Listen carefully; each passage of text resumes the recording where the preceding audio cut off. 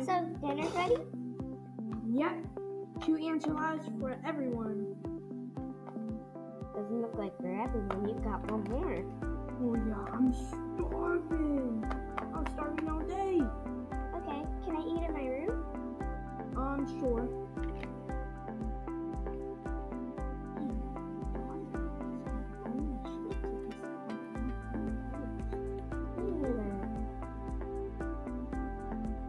Just something's going wrong at school.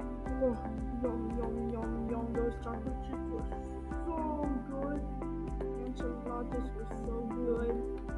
Mmm, yummy. Dad drinks a lot